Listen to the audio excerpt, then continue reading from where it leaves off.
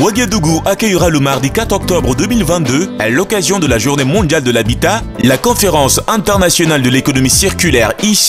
toc organisée par le futur réseau burkinabé pour une économie circulaire Herbec et International Cycle Construction Cluster Slovenia ICC Cluster, une grande conférence autour du thème Vers une économie circulaire dans le secteur de l'environnement bâti et de la protection environnementale au Burkina Faso, défis, opportunités et partage d'expériences. Cette conférence s'articule autour d'un programme d'une journée qui comprend des communications de communicateurs nationaux tels l'Ordre des architectes, l'Ordre des ingénieurs, l'Ordre des urbanistes, le ministère de l'Environnement et des communicateurs venus de plusieurs pays européens, des États-Unis et autres, et de communications d'ONG. Au regard de l'enjeu d'une telle rencontre, partenaires, venez soutenir l'événement et associer votre image à cette conférence internationale que nous espérons fructueuse au profit de notre pays et la bienvenue.